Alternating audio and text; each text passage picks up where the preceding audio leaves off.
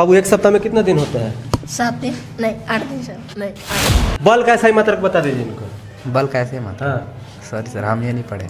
Sorry sir हम ये नहीं पढ़े। नहीं पढ़े हैं? आपका कौन कौन सा सब्जेक्ट है बता दीजिए सबको बताइए। साइंस मैथ और हिंदी। बाबू एक सप्ताह में कितना दिन होता है? सात दिन? नहीं आठ दिन सर। आठ दिन होता है? सात सर सर, का है का है कोई दिक्कत है? नहीं नहीं सर दिक्कत एक सप्ताह में कितना दिन होता है? सात। क्या नाम है दोस्त आपका? दिलदार अंसारी। दिलदार भाई आप तो लंबा हो गए हो काफ़ी यार। अंसारी साहब ये बताइए कि आप कौन से कक्षा में हैं? नाइन्थ नाइन्थ में। आपका कौन कौन सा सब्जेक्ट है बता दीजिए सबको बताइए। साइंस मैथ हाँ। और हिंदी हाँ। सोशल साइंस जी।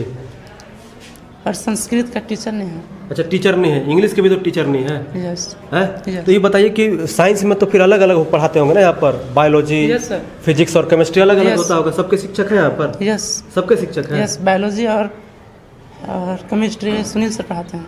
एक ही टीचर दो दो चीज़ पढ़ाते हैं। और फिजिक्स अच्छा एक ही टीचर है। अच्छा और सोशल साइंस में भी हिस्ट्री अलग होगा ज्योग्राफी अलग होगा? यस सर तो सबके शिक्षक हैं? यस है।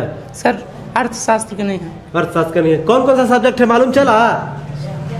अभी वो नहीं बोल रहा है। पता चला? बैठ जा। बल का सही मात्रक बता दीजिए इनको। बल कैसे मत हाँ सॉरी सर हम ये नहीं पढ़े। नहीं पढ़े हैं? नहीं। आपको मालूम है? न्यूटन। ताली बजाइए। मेरे से कलमा में पूछ लेते यार। हमको लगा हाँ हाँ ये देख ये देखिए अच्छा लड़का है। देखिए, समस्या ये है कि मैं, देखिए, इनका ना एग्ज़ाम लेने नहीं आया हूँ।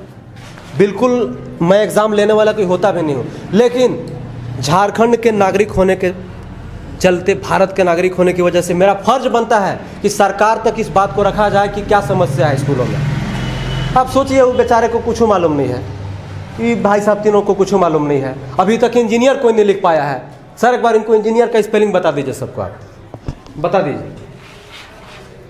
इंजीनियर का स्पेलिंग बता दीजिए अब सर बता रहे हैं बच्चा लोग तो हम लोग नहीं तो आप तो बताइएगा ना देखिए हम लोग इंग्लिश में हम लोग इंग्लिश पढ़े लिखे हुए नहीं हैं हम लोग क्या पढ़ते हैं हम लोग हिंदी मीडियम हम लोग पढ़े हुए हैं तो हम लोग हिंदी ये चीज़ का ये सब ठीक अच्छा तो अच्छा हिंदी मीडियम से इस वजह से इंग्लिश आप नहीं करते हैं हाँ इंग्लिश से हम लोग सर नहीं पढ़े हुए हैं पहले से हम लोग क्योंकि हम लोग क्या नाम है पहले ही से हम लोग छठवा सतवा में थे तो हम लोग उस समय हम लोग ए बी सी डी सिखाया जाता था हम लोग तो अच्छा। इंग्लिश हम लोग नहीं पढ़ा हम लोग नहीं पढ़े कैसे होगा कौन बताएगा इंजीनियरिंग का? इंजीनियर लिख के। अच्छा सर आप बता दीजिएगा। लिख दीजिए वहाँ पर। बताइए मत बताने में लोग मालूम है गड़बड़ हो जाता है। लिख दीजिए लीजिए।